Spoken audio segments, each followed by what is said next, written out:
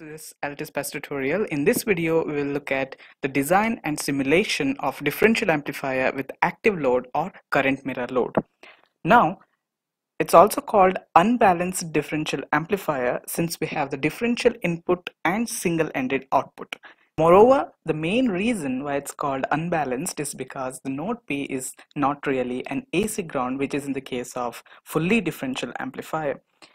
The reason why it happens is because only one of the load is diode connected and hence there is a variation in changes in the voltage levels of the node Vx and Vy. Anyway, we'll not go too deep into the theory part of it. Let's go and see the design and simulation of this differential amplifier with active load in LTSPICE. Okay, now first of all I want you to look at this circuit because uh, we are going to use these names in the design and calculation. So this is M2 and this is M3 remember that this is the second MOSFET and this is the third MOSFET that we are using. This is because the gain of the amplifier the differential amplifier depends on the output resistance which are channel resistance of NMOS and PMOS this NMOS and this PMOS which is RO2 and RO3 so let's go to the design and see.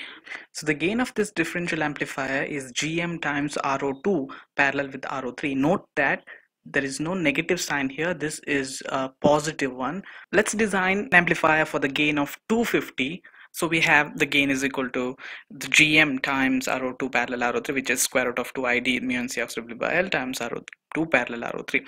Now to calculate RO2 and RO3 we have these equations and uh, these these are the values that I'm going to use in level 1 MOSFET model of the in LTSPICE and ID uh, let's let's I, let ID be 100 microamperes and then uh, with these values I'm going to have RO2 as 200 uh, kilo ohms and RO3 as 400 kilo ohm. Now we also have these parameters which we can use uh, and substitute in the previous equation gain equation that I have told and get the value of W by L which is the aspect ratio and we are going to get it as 175.79 use accurate for value for uh, better results but i'm going to use 176 which you are going to see in the spice. And now we also have the equation vgs is equal to the square root of 2id by mu and cxw by l plus vth so substituting all these values we just now we got the w by l value and substitute this and vth we know as 0.4 we're going to get the vgs as 0.45333 volts. This value also should be very accurate for uh, getting the particular gain okay let's go and see in LTSPICE if this works. Okay here we are in LTSPICE let's quickly check the values of the aspect ratios and let's go on. Okay 1 micro and 176 micro. That was 175 aspect ratio W by L. And here also it should be same. Remember that the GMs of these MOSFETs should be same and uh, which means the W by ratios should be same and at the same time the W by ratios of these MOSFETs should be same. This is how we got the equation of the gain. If you don't follow the this that means uh, if you don't have the same aspect ratios for these two and these two uh, you're not going to get the gain equation that we are getting. So it's must that I am using the same values for both of them. So let's run this transit transient analysis and see the output. Yeah this is the output and let me click on input as well.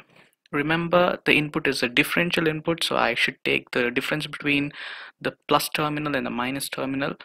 So I'm gonna click on this input as well. Since it is VN005 I'm gonna move it to one more plot plane. I'm gonna click and add a new plot plane and move this N005 over here and uh, then subtract V of N005 from that. And I'm gonna delete this. This is no longer required.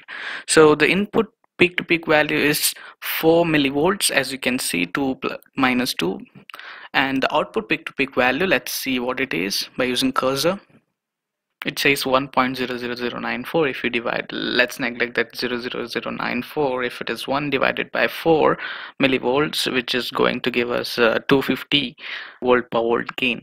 That's the gain that we expected. One more thing I wanted to tell you is that even though this circuit is not fully differential amplifier because the output is not a differential signal the output is a single-ended signal it's possible to have the gain of fully differential amplifier. And this is possible only because of this current mirror.